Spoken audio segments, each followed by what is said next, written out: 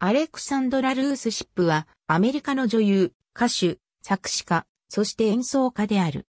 彼女はライフタイムのテレビ映画アリーヤ、ザ・プリンセス・オブ・アールビーで実在の歌手アリーヤを、そしてアカデミー賞にノミネートされたストレートアウタ・コンプトンでキンバリー・ウッドラフを演じたことで注目されるようになった。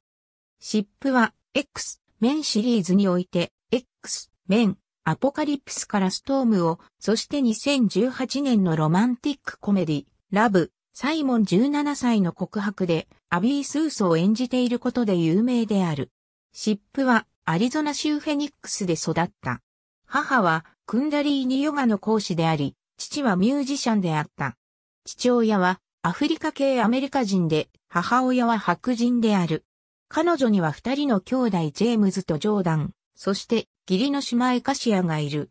シップは、スコーピーク小学校、アリゾナスクールフォーザアーツ、フェニックスのセントメアリーカトリック高校で教育を受けた。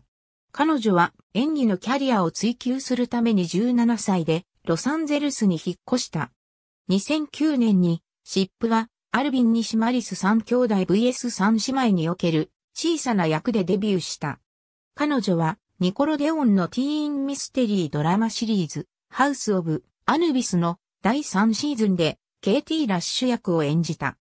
2014年、シップは VH1 のテレビ映画の続編、ドラムライン、A ニュービートで、ダニー・レーモンド役、ライフタイムのテレビ映画、アリーヤ、 The Princess of the R&B でのアリーヤ役で注目されるようになった。アリーヤ役では、シップ自身も歌った。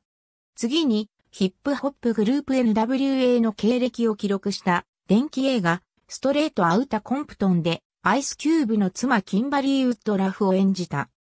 2016年、彼女は、ブライアン・シンガー監督のアメコミ映画、X、メン、アポカリプスにて、それまで、ハルベリーが演じてきた天候を制御するミュータントの、オロロ、マンロー、ストームを演じた。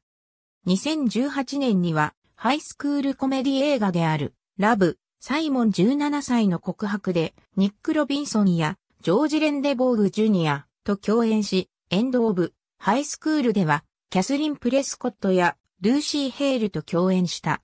2019年の映画、X、メン、ダーク・フェニックスにおいて、オロロ、モンロー、ストーム役を再び演じ、シャフトでは、ヒロインのサーシャ役を演じた。ありがとうございます。